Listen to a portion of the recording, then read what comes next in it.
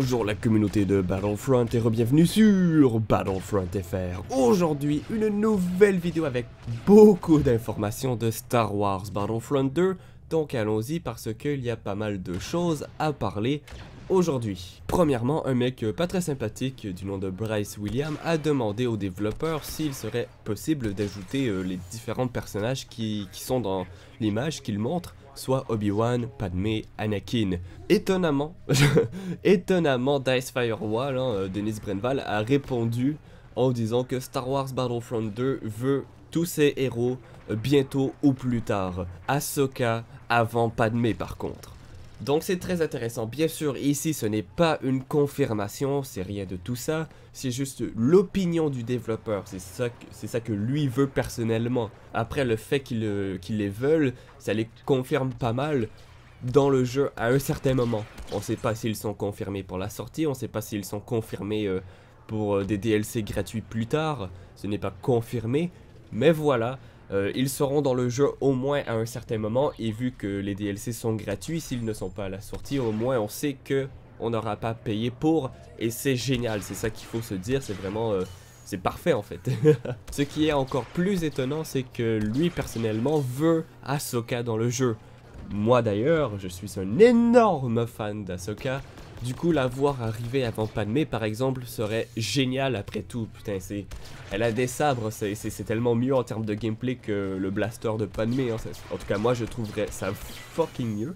Mais voilà, chacun son opinion. Et ça confirme pas mal que l'on va avoir, justement, des personnages des séries télé. Ce qui est vraiment, vraiment super cool. Bref, voilà, le fait que Dice Firewall veut Ahsoka est une très très bonne nouvelle pour nous, pour ceux qui adorent les séries comme moi.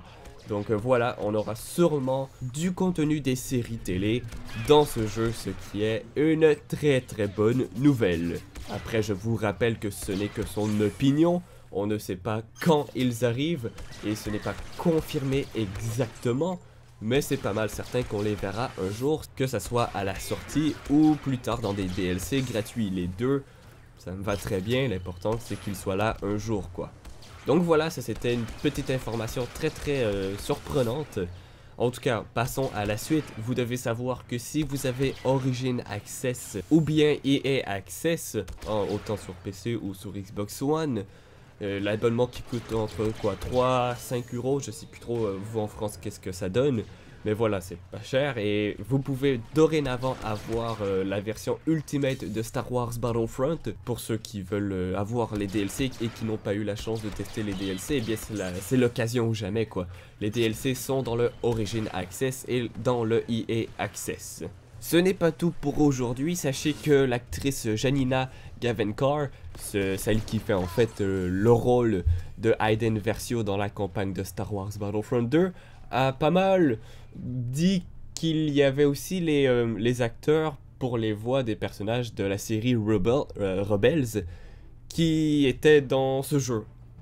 Donc, euh, qui sont venus en fait pour aider avec le jeu. Donc, on peut prendre son, son commentaire comme. Ah, ben, en fait, on peut le prendre de plusieurs façons. Premièrement, est-ce que les acteurs qui font les voix des personnages dans Rebels sont venus pour justement faire les voix de, leur personnage dans Star Wars Battlefront 2 Est-ce qu'on va avoir justement euh, Hera Est-ce qu'on va avoir euh, Ezra dans Battlefront 2 Ça m'étonnerait, personnellement, ça m'étonnerait beaucoup. Peut-être, peut-être que c'est en lien justement avec la campagne. Ça, ça serait cool de pouvoir euh, avoir un petit aperçu de, justement l'équipe de Rebels dans la campagne. Après tout, ça ferait pas mal de sens. Parce que oui, on joue le rôle de Hayden Versio, mais c'est pas tout. On va aussi avoir un aperçu de Luke, un aperçu de Kylo Ren. Donc ça m'étonnerait vraiment pas d'avoir un aperçu un peu de, de l'équipe de Rebels. Avec Ezra et tout. Mais bon, ce n'est pas confirmé, bien sûr. Euh, si on a un, aperçu, ça sera très très court dans la, dans la campagne. Et ça m'étonnerait beaucoup qu'il soit dans le multijoueur. Bon, après, euh, Ahsoka, comme on vient de dire, elle sera sûrement là un jour ou l'autre, que ce soit à la sortie ou dans le futur, dans des DLC gratuits, c'est pas mal certain qu'on aura Ahsoka dans le multijoueur pour nous, pour euh, ben, qu'elle soit jouable quoi, ce qui est fantastique. Et, en plus si les, justement les acteurs sont venus faire les voix, eh bien ça confirme pas mal cette théorie quoi. Mais bon, ça veut pas nécessairement dire qu'ils sont venus faire le, rôle de leur personnage dans Rebels. Oh, les acteurs euh, qui font les voix peuvent faire des voix de pas mal de choses en général.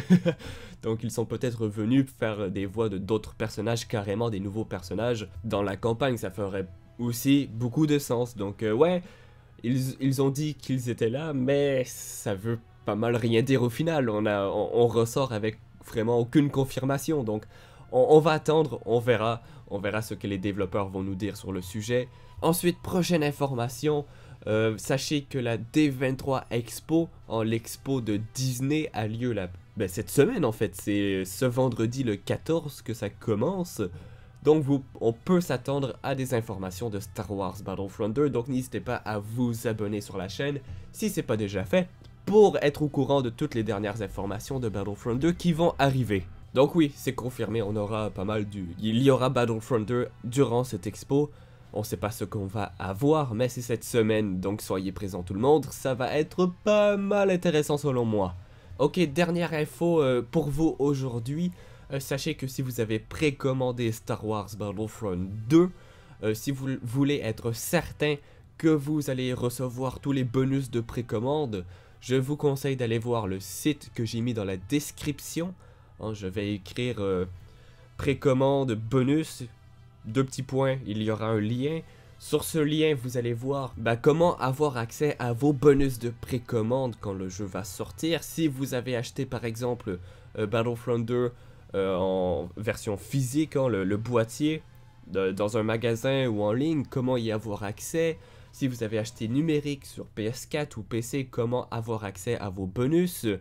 Tout est écrit, très détaillé, et en plus c'est aussi écrit en France ou en Europe ou peu importe où vous êtes, euh, dans le pays que vous êtes, les différents magasins, les différents euh, liens, sites qui donne les bonus de précommande. Donc allez vérifier si vous êtes euh, justement parmi ces gens et être certain que vous allez recevoir vos bonus de précommande, sinon c'est un peu dommage. Donc voilà, c'est tout pour aujourd'hui. Euh, dernier petit truc aussi, petit message, je vous demande d'arrêter de me demander de parler des infos, des leaks et des, ben, de ce qui est ressorti de l'alpha. Je ne vais pas en parler sur la chaîne, on a tous accepter des règlements quand on a accepté l'alpha. Hein, pour jouer à l'alpha, il fallait accepter des règlements, c'était écrit. Si vous avez joué à l'alpha, vous êtes donc sous contrat de ne pas parler de l'alpha. C'est le règlement et c'était écrit. Donc non, ayant participé à cet alpha, je ne vais pas parler des infos de cet alpha, je ne vais pas parler des leaks de l'alpha parce que on a signer en quelque sorte un contrat qui nous empêche d'en parler et on peut avoir des problèmes justement si on en parle. J'ai fait une grande discussion sur ça sur Twitter euh, plus tôt et croyez-moi je ne vais pas mettre ma chaîne à risque euh, juste pour parler de leaks qui ne sont même pas confirmés. Hein. Cette chaîne parle avant tout de trucs qui sont confirmés ou qui sont un peu teasés par les développeurs chez DICE. Donc non, je ne vais pas changer ça. Donc arrêtez de me partager des liens, des, trucs de leak de l'alpha.